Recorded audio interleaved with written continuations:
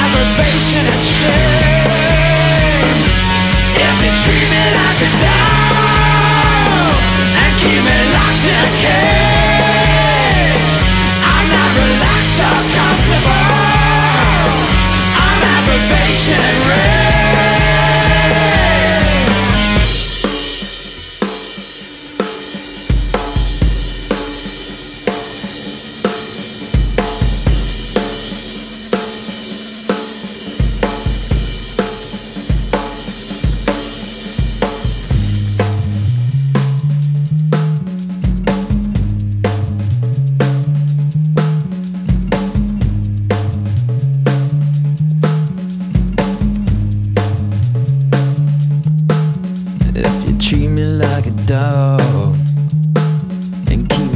in a cage.